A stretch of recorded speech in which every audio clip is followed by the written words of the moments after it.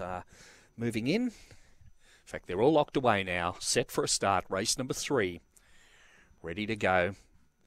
And racing, winning the start, St. Tess challenged early by Rampant Muster in a well bunched field and getting through. St. Tess takes over. St. Fiona second, followed by Rampant Munster. Then came at the head of the rest Galactic Horizon running on. Further back was Stitchem Dolly, Stitchem Millie. Well back out of it, Pars Chance, and last of all, Master Moment. Off the back, and St. Tess leads for home in second place in Galactic Horizon out wide, but St. Tess scores. Galactic Horizon got close on the outside. Third went to St. Fiona. They're followed by, in behind them came Rampant uh, Muster, Stitchem Millie, and it was back the rear of the field with. Uh, in behind them, then Pars Chance and St. Fiona stand by for our placings.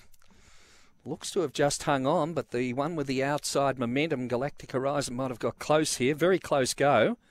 23 and 50 odd the time. In fact, five's got up. Galactic Horizon has got up a deceptive angle. Number five, Galactic Horizon's got up in the last stride to defeat number two, St. Tess and uh, third in has gone to number one, St. Fiona. So 5 2 1, the numbers.